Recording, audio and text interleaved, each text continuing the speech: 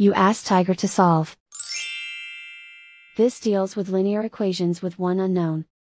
The final result is b equals 4. Let's solve it step by step. Isolate the s.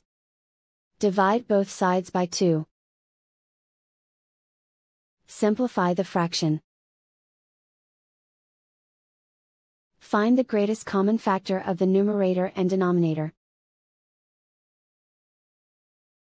Factor out and cancel the greatest common factor. And so the final result is b equals 4.